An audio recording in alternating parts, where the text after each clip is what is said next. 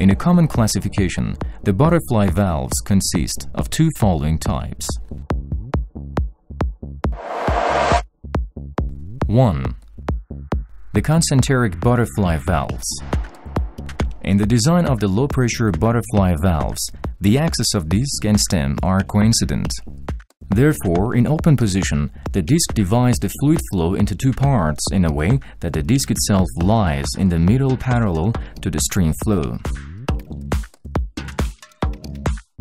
The seat of these valves is made of neoprene, Hypalon, Teflon and similar materials. The class of these valves is usually 150 and 300.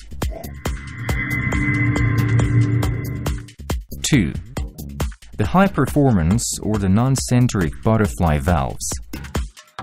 As the thermal and working pressure of this valve is very high, the seat cannot be made from soft materials, however, the ingredients of the valve must be made of metals.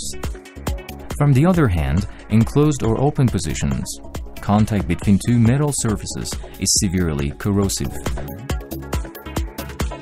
To reduce this adverse contact, the axle of disc or stem is out of the center of the disc. The out-of-center displacement of disc and stem postpones the contact between seat and disc up to the last moments with the last movement. This kind of design not only reduces the friction force between the seat and disc, but also provides a complete sealing. As these valves operate in high pressures and temperatures, they are called high-performance butterfly valves.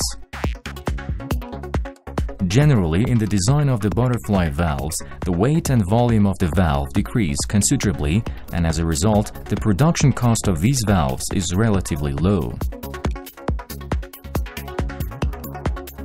By the valve, the design has provided the possibility of manufacturing valves up to 5 meters.